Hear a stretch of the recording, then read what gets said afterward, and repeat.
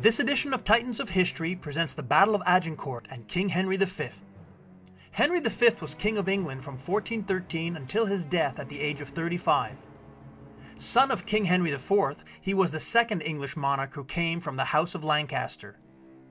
As a young prince, he gained valuable military experience fighting rebellions against his father's enemies. As king, he embarked on war with France in the ongoing Hundred Years' War between the two nations. He claimed the title of King of France through his great-grandfather, Edward III.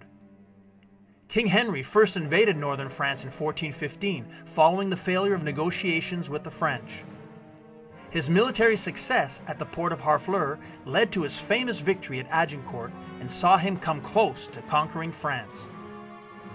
The Battle of Agincourt was a major English victory that took place on St. Crispin's Day, Henry led his troops into battle and participated in hand-to-hand -hand fighting.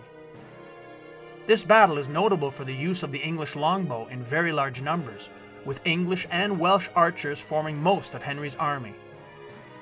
The battle is the centerpiece of the play Henry V by William Shakespeare.